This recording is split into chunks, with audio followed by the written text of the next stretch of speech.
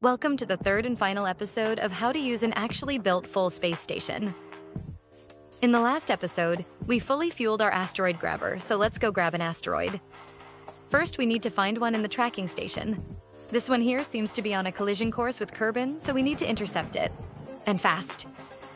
To do this, we are effectively going to point our rocket in its general direction and just go.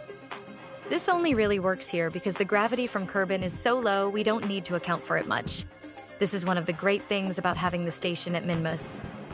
Now, after some course corrections, we can hightail it to the other side of the Kerbin system and intercept the asteroid in record time. It doesn't matter too much if we use most of our fuel just getting to it, as we can use the asteroid itself as a source of fuel. Once we get close, we can arm the grabber and attach it to the asteroid. This process works similarly to docking.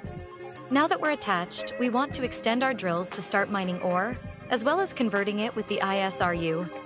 Make sure that all your radiators are deployed for this, and that the asteroid isn't blocking your solar panel's view of the sun.